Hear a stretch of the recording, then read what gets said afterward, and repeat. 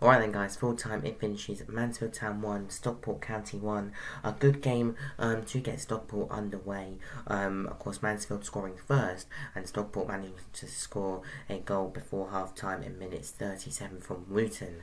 As we can see, Mansfield in 22 and Stockport in 37. They um, have Accrington Stanley in the Football League Trophy on Tuesday the 3rd of September.